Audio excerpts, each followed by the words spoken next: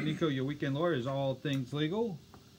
Um, you can call us at a law firm at 504-837-1304, 504-837-1304 if you got any um, if you got any questions off air. Um, also, if you want to call us about any advice regarding flood, just ask for us, and um, I'll be glad to uh, ask for Doug.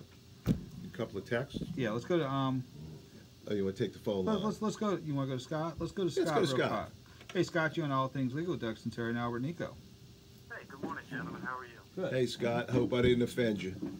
No, you did not. Actually, I just thought I could uh, share some information your audience might find useful. Please do. Thank you. Okay, let me first say that I own a remediation company, Mhm. and I am a state licensed remediator. I'm also a mold inspector. Um, I would like to say a couple of things. Right. A mold certificate is essentially a worthless piece of paper. It's not going to tell you that the house is free of mold going into the future. Mm-hmm. All it's saying is that at this moment in time, the person taking the test has verified it or determined that there's nothing else going on at that moment.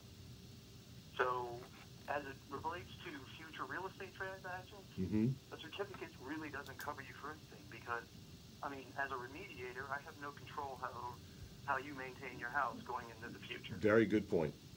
So the other thing is, I think the caller, and this is what really got me to call in. You had a guy saying there's an enzyme that you can spray that eats mold.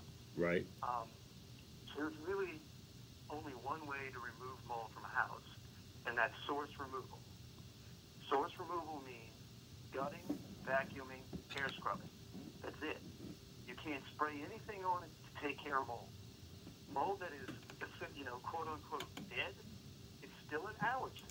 Live mold, dead mold, inactive mold, whatever it is, it still can cause allergies and can affect your breathing, and is, you know, it's it can be bad for your health. Mm-hmm.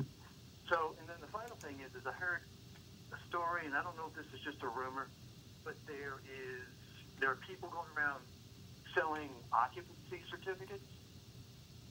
Really? Yeah, that's a complete scam. That's a complete scam.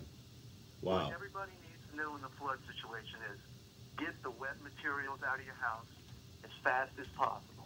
Agreed. Um, mold will grow on wet material within 48 hours. So it's not the end of the world, but you got to act quickly. Right. Yeah. Because the We're longer you wait, the more the longer it festers and continues to grow and get further i- into your home. Yeah, mold is a symptom of a, of a moisture problem. That's all it is. Mold is growing, mold is natural. All right. Mold spores are everywhere. Correct me, all they're Scott. looking for is moisture and food, and that's what we have now. Cor- correct me if I'm wrong. Um, there, there's a uh, a mold remediation license, or is it a mold testing license? So it's a little strange with the way the law is set up. Mm-hmm. To be a remediator, you have to have a mold license.